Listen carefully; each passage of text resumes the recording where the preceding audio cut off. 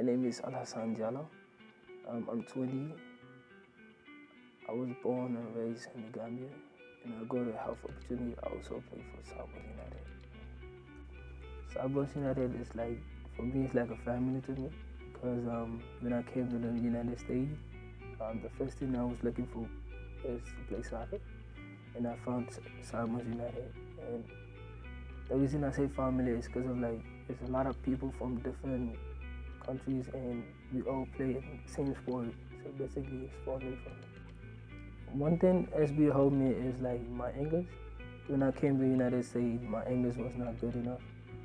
So SBU helped me like improve my English, my vocabulary words, and also helped me with um, college posters and SATs. I've never been in college, but as people told me about college, I think I'm ready.